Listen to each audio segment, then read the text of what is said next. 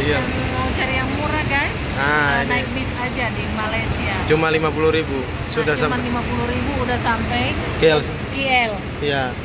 coba harap dicoba guys Yuk, belinya di situ. dua lantai-lantai terbawah. ya, di ya. Iya. ke KL hanya Ya. dengan 50 ribu Ya, ini dia bisnya. Gimana, Bos? Tahan kincing. Sabar.